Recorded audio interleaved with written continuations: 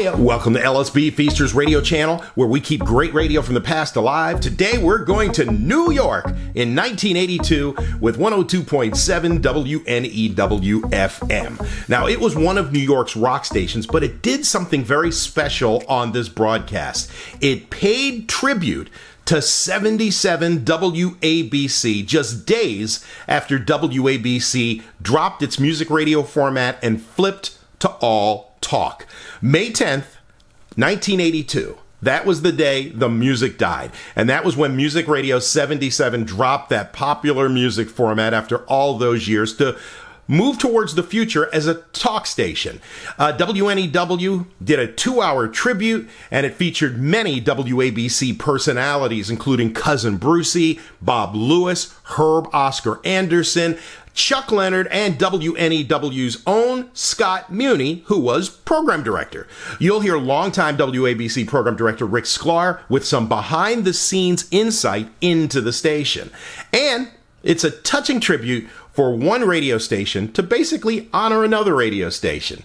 Uh, if you like it, feel free to give it a thumbs up and feel free to subscribe to the channel too if you like. All right, here it is, part two of WNEW's tribute to Music Radio 77 WABC.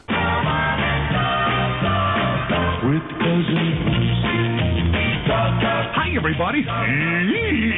Cousin. Makes me laugh when I do that. Yee! This is your cousin Brucie. Hi, everybody. Listen, I hope everybody's feeling terrific. I had a great time last week at Palisades Amusement Park. This Saturday, it's going to be Chubby Checker, Fats Domino, Tony Bennett. You know who he is, kids?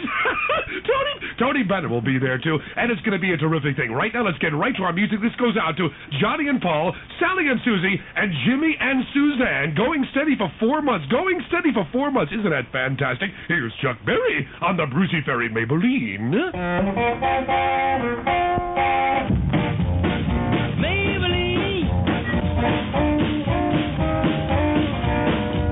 You turn the radio on and you know, hey, there's a guy there that can help you out, tell you about the traffic, and he, he, you trust him. It's credible. It's not a music machine with just record, record, record, and you know, we don't do that. I, I can't. I don't know. I don't know how to do that kind of radio. I have to know what people want to wear in the morning. I want to tell them what to wear. I want them to know that I have an itch. I sneeze. I never use a cough box to this day. I sneeze. I'm a human being. You know, and people get a kick out of that. I, sure. I don't want them to think I'm a magic being up in uh, uh, Mount Radio or something. I'm a friend. Cousin Bruce is their friend, and this is how I've survived all these years, and this is what I think radio has to offer. I'll give you a Cousin Brucie prediction. Okay. Within 50 years, babies will be born with a little black box on the right side of their head that says "Made in Taiwan," eight transistors. My point is, radio is not a luxury. Radio is a necessity. It's part of life. It's day to day. It's it's real. It's alive, and that's what I fight to keep radio.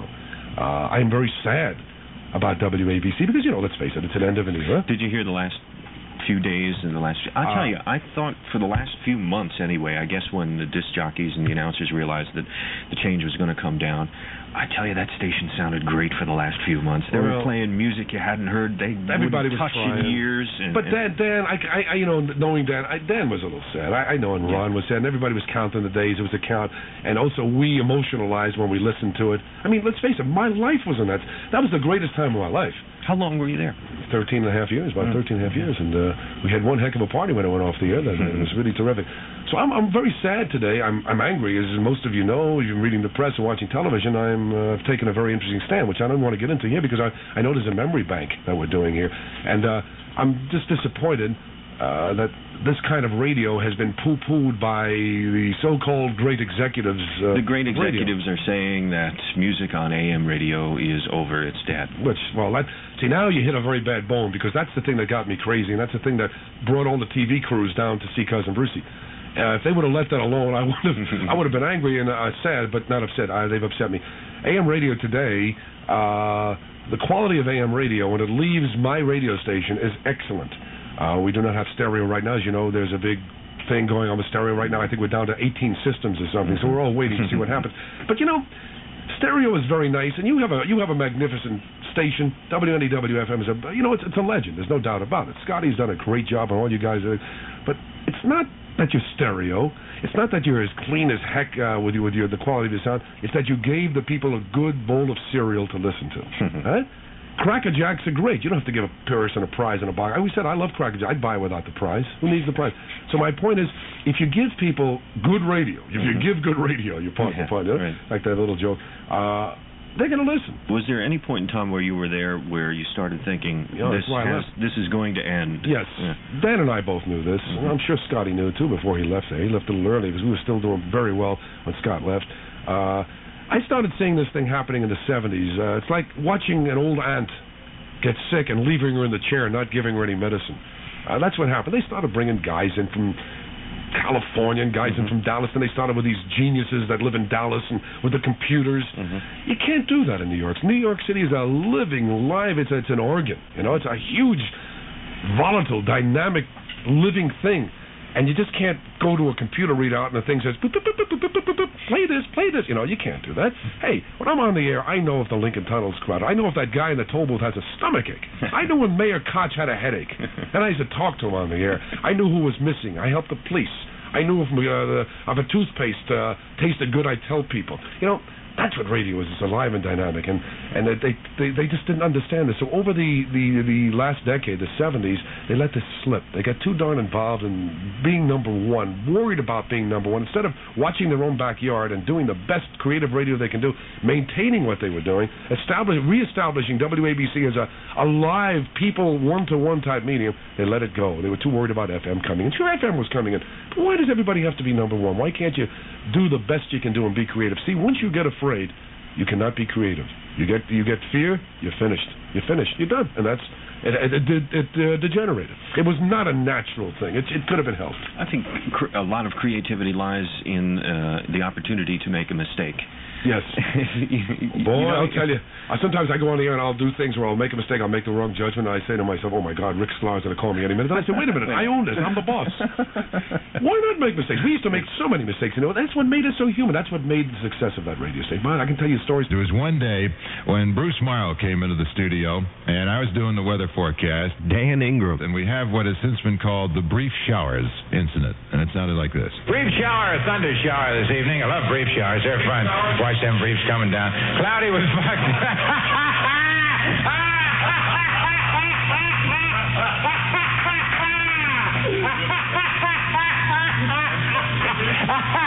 me see those. At least they're something to brand. This is uh, our cousin Bruce Morrow wears Jockey classic briefs. He just, he just threw a dozen of them at me.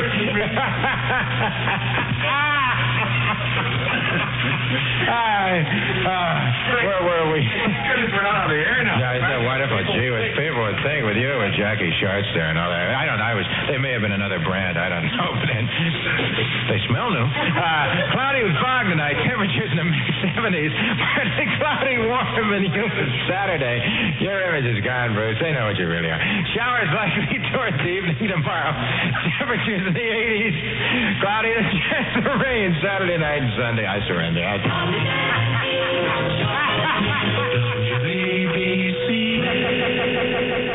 I think one of the, the greatest, well, it was maybe a blooper, a, a disaster, to show you the power of that radio station. Rick Sklar and I were walking one day. We had uh, lunch, and uh, this is the, the beginning of the kite craze in, in the United States. Everybody was flying kites. You remember that? It was about uh, late 60s or early 70s. Something.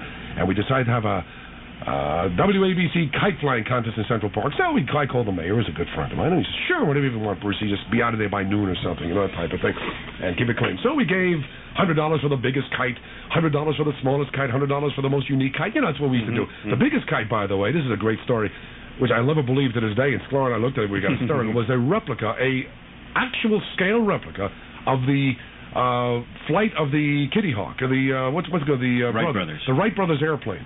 They built the kite, and some man was flying it. "Well, anyway, here's the bit to show you the power of this radio station and a blooper."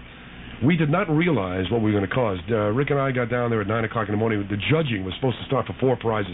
It started at eleven o'clock or something. The sky was literally so full. It's not just a story. It's so full of kites we couldn't see the sky.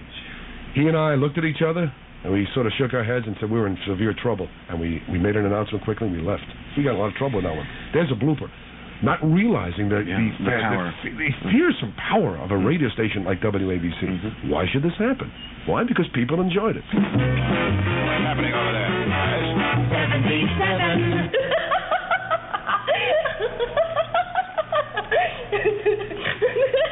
Uh, come on, honey.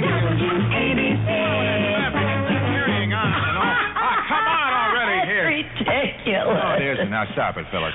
Uh-huh. You're listening to a salute to Music Radio, WABC, with love from NEWFM. WABC, serving New York and America with music in tempo with today.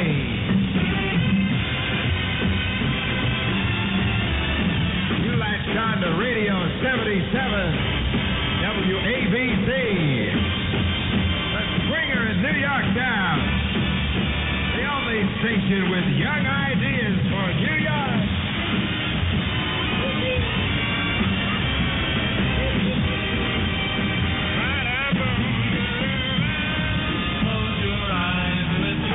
There are the Beatles. You know it. Number 18 this week, P.S. I Love You.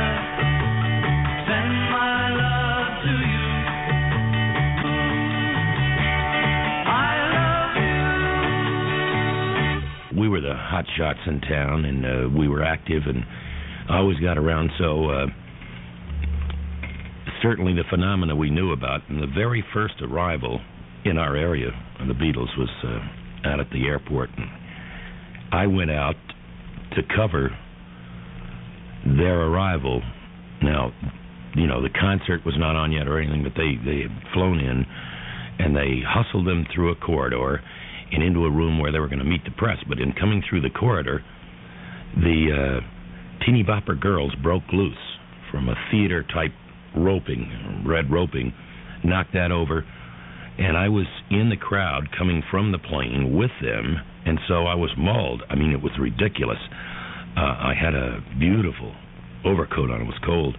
It got ripped right off, got ripped to shreds, and um, it was pandemonium. But it was that way everywhere they went. Uh, their their thing was the first idol type affair that uh, the American teenagers had had in a long time. You know, prior to that, there was always a guy coming along, and there was an Elvis, and there was a Frankie Avalon, there was a Fabian. Nothing quite like this in a group, and each girl's focusing on whichever one they really were into, or all of them as such. And of course, they had the haircuts that the American boys didn't have. So, wow, all this going for them. From there, back to the hotel, and um, in the limos, and the screaming, and the yelling, and uh, and the panic when they went in the hotel on Park Avenue. One female type grabbed Ringo's uh, St. Christopher medal from his neck, ripped it off, and ran down the street with it.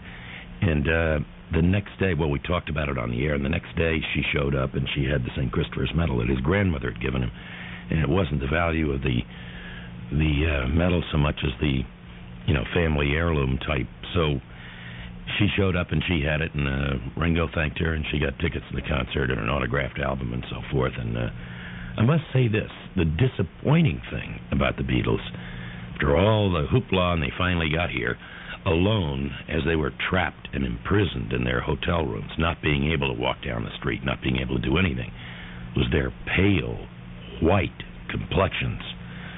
Mean, each one of them looked to me as if they had been in a hospital.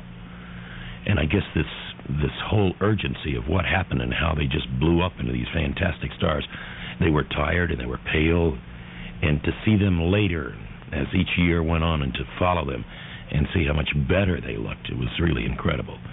One other thing about the Beatles and the stay in the hotel.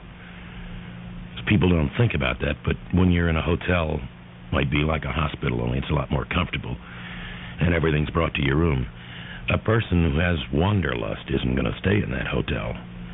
And Mr. Lennon was the wanderlust. Because John left that hotel dressed as an old lady.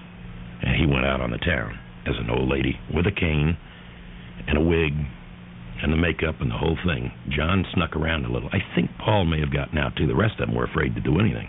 It was amazing because we were in this hotel, Park Avenue, literally for about two or three blocks was wall to wall young females and some males too. Um, and they were all listening to the station. We were in a room adjacent to the floor where the Beatles were on, and we had our setup in the room, and we had our microphones in there, of course. And so I just opened the window once and I said, uh, you know, any window that opened, my God. I mean, the crowd went bananas, berserk, thinking it might be one of the Beatles or something. So I held the microphone down there and asked them, you know, I said, okay, can you hear us? Or, okay, now we want. We we uh, we even had them sing "Happy Birthday" to the president at the time, and they did that because it was his birthday that day, and uh, and we had them do just everything. They were doing jingles, they were singing "I Love You," yeah, yeah, anything you asked them to do, they did it. They were tuned in. Everybody didn't have a radio, but enough people did so that it was a solid sound at the station, and it was frightening. It really was frightening.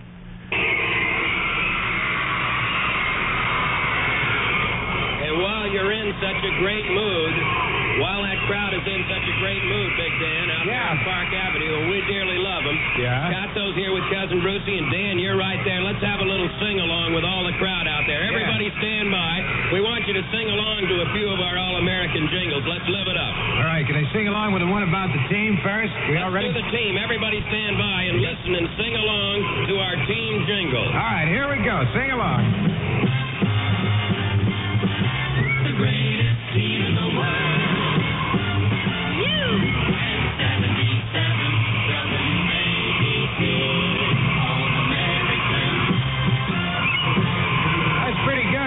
Could do it a little louder this time if we play a different jingle for them? Yeah, they'll try it again. They're great. We love them. Let's go with another jingle Let's for the go with another one, Dan.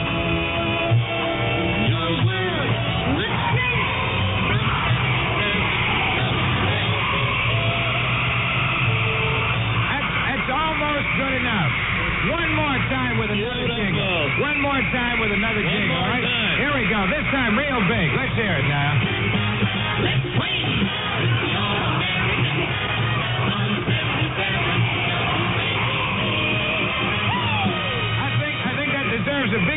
Beatles right?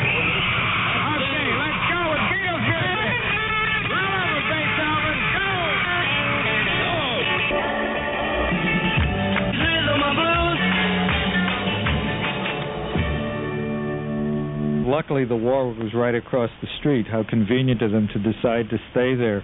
We went over there two days before they brought the Beatles into America for the first time and wired up the hotel with our RF equipment so you could walk from room to room and floor to floor with a microphone with a built in transmitter in it. Once again, Rick Sklar. We also took the precaution of giving some bottles of scotch to the detectives who were going to be assigned to guard them, so we could still get into their rooms. I remember one funny thing at the at the Warwick, uh, course you couldn't get within a mile of the place. The police had it all literally, you know, blocked off. You couldn't get into the hotel unless you were a guest. And there was one teenager. There were twenty thousand surrounding the hotel, but one got in. Her father was staying at the hotel, so she talked him into letting her stay with him. And I remember we had gotten Paul McCartney out of the Beatles suite. We were actually going to take him to the ABC suite, which was a floor above. And we, um, I rang the. We was nervous being out in the hotel corridor. Rang for the elevator. They still had elevator operators in those days, so I rang the up and down elevator, figuring we better get him into the first elevator that comes, because it would be madness. And as luck would have it, the first elevator was going down, and we're going up. But they stopped, and the lady operating the elevator opened the door, and uh, there in the elevator was a businessman. This businessman with his teenage daughter, who had talked Dad into letting her stay in the hotel with him just in the hopes of seeing the Beatles. And she was unfortunately looking down at the floor at that instant. And I started to talk to the elevator operator, and I said, "Would you please? I know this elevator is going down, but we're in this an emergency. Could you bring us up one flight? We just don't want to stay out in the hall here. It's you know just too dangerous." At which point the teenage girl looked up, and she was two inches from Paul McCartney. They were face to face. And as she looked at him and realized what was going on, the woman operating the elevator said, I'm sorry, this is a down elevator. We can't go up, and slammed the door in our faces. And you could hear that girl screaming all the way to the lobby, like, let him in.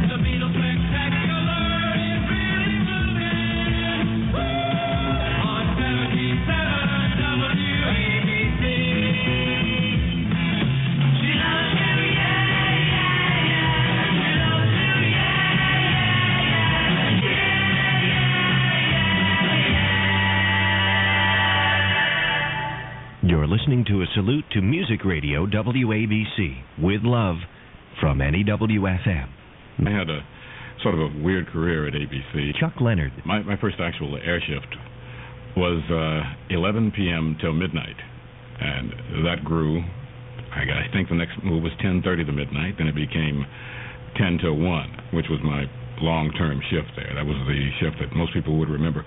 Uh, I also did weekends. I did Sundays forever. I was the Sunday beach man. that was kind of fun. Were you aware of what people were doing, while without sounding rude, what people were doing when they listened to you? Well, if I'm to believe what uh, they tell me today when I meet them in the street, they were growing up to me, which is very funny uh, to me because I was growing up to them. How did you get hired at WABC? I got this phone call. I was on the air, substituting for someone else at the time on RL, uh, and uh, I got this phone call that said, "Ee." I said, "Hello." Ee, my cousin. Uh, well, at this point, I had been in New York less than a month, and uh, I said, "Who's this?" And he says, "Cousin Brucie." Well, I was the only person in New York who didn't know at the time who Cousin Brucie was. I had already been contacted by a guy called Big Daddy up in Harlem, uh, some woman with a very unctuous voice called Music Galore out of New Jersey. So I said, well, why not a Cousin Brucie? Uh, so he says, my boss wants to talk to you. Well, I said, not only is there a Cousin Brucie, but he's got enough nerve to have a boss. So I said, okay. And then a little silence for a moment, and then, hello, this is Rick Sklar. Rick is a gorgeous man. He has a, a sinister sound on the phone once in a while. I, I, I got all sorts of images of, of the mafia has me. Uh, they're going to uh, put me up against the wall to play their records or something. I don't know. So he says, "Can you see me at my office Monday?" I said, "Sure, sure. man, I'll, I'll drop by Monday or Tuesday or whenever." So he gave me an address, which meant nothing to me. And you had no idea these people were from the top radio music know. station in the city. I did not go. I just went on about my business, and uh, then uh, when I came for my air shift that Monday at RL, which was the evening, I had all sorts of telephone messages, and um, I'd been contacted by the editor of the Amsterdam News. I had been contacted by the uh, ABC uh, UN bureau chief Mal Goode. Uh, I had oh, see, Roy Davis, who was a newsman, I think at NBC at the time, and they had contacted every gens de couleur, every person of, of, of the uh, dark persuasion in town to say, would you tell this man that this is something that he should look into? Well, I uh, finally went over the next day and uh, we talked. And w- well, negotiations are funny and should be kept uh, uh, in the dark most of the time, but uh, I turned down the job. they did ask me what was the uh, minimum I would accept, and like that. And I said, well, I gave them some figure, which to me I thought was just scandalous. And I went home, went back to work, whatever, just like it had never happened. Well, uh, maybe a week later, I got another phone call, and he said, Mr. Sklar said, would you come back and talk to me again? And I did. And, uh, when I came back, uh, I was about five minutes late for the appointment, and I met this gentleman in the hallway. It was a photographer. And he says, Are you Mr. Leonard? I said, Yes. He says, uh, Gee, I've been waiting for you. And he took me into what was then their record library. The, the studio wasn't at the new building, it was over in 1926 Broadway at the time. And uh, he says, I've been waiting for you. And I said, What for? To take your publicity shots. I said, "Oh, oh, I have them now." Really? but anyway, it did turn into a, a happy contract and a long, long-running thing. I was there 14 years. Which brings us back to um, knowing what people were doing when they when they were listening to you on the radio. oh, yeah, Um, my Sunday show. I, mm. I had, uh, well, I actually stole a bit from Dan Ingram, who uh, I will always revere as being a very innovative broadcaster. Uh, the rollover bit, which became uh, sort of a, an ABC trademark. We'd have the, the people on the beaches, and if you went to a beach in the New York area, uh, you would hear that chime uh, ringing all over the place. Da da da da da, bing, which uh, we'd have to immediately follow with WABC chime time. and uh, one of the engineers would uh, throw a yummy across the table. Little Pavlovian day- response there. One day, uh, one of my engineers brought in a box of dog yummies, and every time the chime would ring, and I'd have to say the time, he'd throw a yummy. Pavlov's dog. That's super. What's the what's the craziest thing you remember that ever happened there? Oh, gee, there were so many. Uh, you know, ABC, WABC, was uh, sort of a celebration of, of, of the, the fun side of New York in its glory day. Uh, it made believe that there were no cloudy days, there was no rain in New York, only light drizzle. Uh, so it was always in fun. Uh, and as much as people felt that well, you're very restricted because you were doing a in quotes and at that time uh, still almost a dirty word top 40 format. We were given a lot more freedom than most other stations that carry the same kind of format. Uh, you found that the, the uh, well, I, don't want to call anybody to task, but guys who work for the Bill Drake formats and like that, uh, they were much more automated and their responses were much more automatic. Uh, we were allowed to do almost anything we wanted to, all kinds of zaniness or whatever, just as long as we didn't become too political or uh, too smutty. Because after all, we were a youth-oriented station. What was the happiest thing that happened to you while you were there, Mm. relating to radio? Not- Every time I got a raise, it was happy. Yeah, but as a matter of fact, uh, Rick Sklar used to have a sign in the studio uh, that I loved. It said, uh, "Every time the red light goes on, you are very happy because you are making money," which made a lot of sense to me. But uh, I think uh, there was no one incident that was the happiest. Uh, I was happy to be working with professionals. Uh, there was a certain stigma attached at street level because ABC was never a hip radio station. It was never one that was avant-garde. Uh, there was always a movement, and the movements varied from uh, underground rock to uh, folk to uh, all kinds of things that happened. And ABC survived all of this. And even though there was always somebody to detract from what you were doing, we were never really very hip. Uh, everybody knew exactly what they were doing, and it was probably uh, take everything else out, all all other things out of context, taste and everything. It was probably the best overall radio entertainment that this town has seen in a long time. WABC was a business. Once again, Bob Lewis. The guys who worked on it weren't a business. The people who worked on it weren't a business. And the music it played to the people who listened to it weren't a business. You know how serious a movie American Graffiti was? If you stop and think about it, it was a fairly serious movie. There was a movie on HBO not long ago uh, called The Hollywood Knights, which was uh, just about a bunch of clowns in the 50s. Uh, it was a far better representation of the 50s than American Graffiti was because it wasn't serious, and the 50s weren't serious. Uh, and the music was fun, what we were doing was fun, but that ra- radio station was a business. It was it was designed to to skim money off pop culture. Okay? And so I don't miss it. I would miss WNEW-FM. And I'm not saying that because this is NEW-FM. Uh, I'm not saying that WNEW-FM isn't a profit-making organization. I'm saying that there's a, a, a different approach to its relationship with its listeners.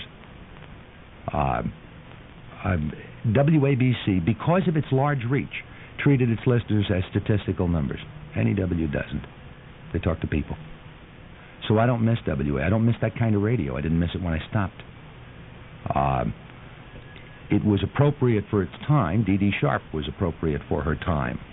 Okay, but she is not Bruce Springsteen, and uh, uh, she is not Elton John, and uh, neither one of them are the Beatles. Well, the thing that made WABC so huge, really, was that, as I mentioned earlier, it was first and foremost a station of its time. Once again, HOA. And I think that time is a very relevant thing in show business, and WABC was show business. And this is the second point that I would like to make.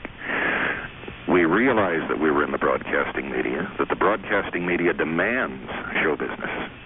And we were able to give that type of show business in an industry that was all but ready to lay down and die because television, the great uh, tube with the picture, was going to claim the whole market, and radio was secondary. And I think it was the indifference. I think that uh, it was the real feeling of, hey, we're going to do something here that no one has ever done before. And it even caught on the engineering department. It caught on in the sales department. And all at once we realized that we were onto something that was going to be unique in the broadcasting history. And through this effort and through refinement and through continuous uh, injection of new ideas, new modes, new interpretations, new fads in, in, in listening, always you knew when you listened to WABC that you, things were going to be pertinent. They weren't going to be a week old. It was going to be right up to date. And through all of these things, we were able to mold this very delicate balance of show business information and, above all, personality. I hope that people like you will keep listening to people like myself and giving me the opportunity to reach other audiences. Once again, Cousin Brucie. I will keep it alive if I have to fight single handedly, but I know I have a very large army behind me. But with guys like you allowing me to talk and be interested in what I have to say, we'll keep it alive. I'm not going to let it die. The music will not die. Well, I think FM in most major cities, in most markets, FM, because of its sound and the better quality of music that you can hear, uh, severely hurt AM. Scottso. And I think also AM probably stayed too long with too few records of the same thing over and over again, where there was more experimentation, more boldness, more innovativeness, and a better sound for music on FM. So the time that it took for FM to make its move was due to the cost of a person converting their lives, their cars, their homes from an older radio to something they could now hear music in stereo. Once that happened and people felt and heard the difference, the ball game was over. But uh, there is it's a very nostalgic thing, and uh, you know everything has to end. That's life. Once again, former program director Rick Sklar. WABC uh, was like anything else; it's part of life. Couldn't go on forever, but uh, it was a wonderful thing. Uh, it was a one of a kind. There'll, I don't think ever be another station quite like that. Mean, the, the scope of the thing was so huge. It was so grand. Everything that was done was on such a massive scale. We gave out buttons. We gave out 14 million buttons. Wear them buttons with the WABC call letters, and if we spot you, we'll give you twenty-five thousand dollars. You know, where do you uh, come up with ideas like that? 14 million buttons given out. Uh, this this stuff is it's just not done today. We should save some tapes of WABC the way it was and have a place where when people want to relive their youth, maybe we'll donate something to the Broadcasting Museum where they can come back and listen to a few minutes of Big Dan and the mid 50s and into the 60s and Cousin Brucie and everybody. Uh,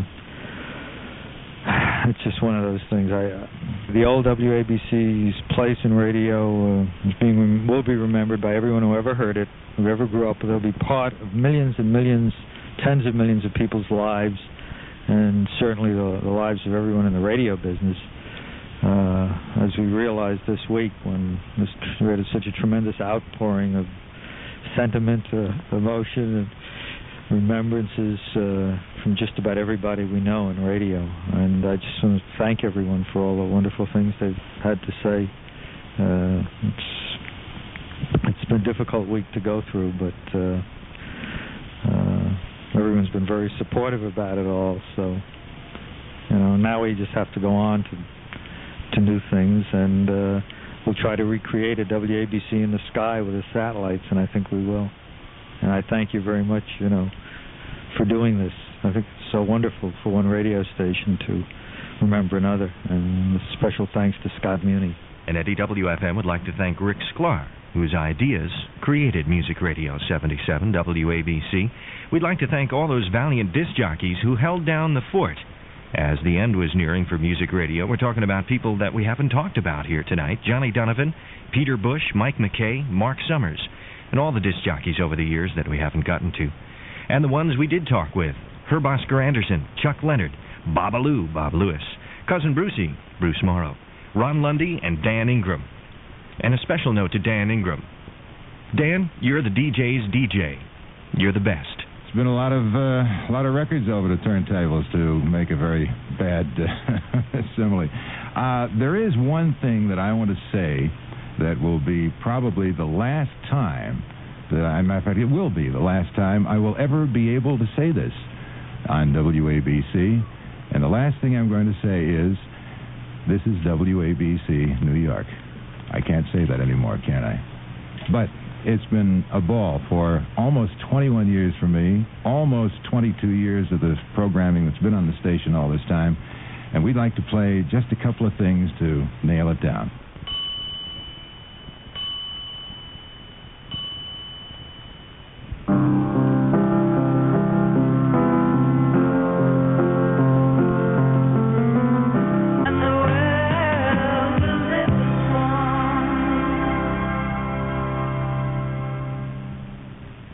Tribute to Music Radio 77 WABC with love and lots of it from Eddie WFM.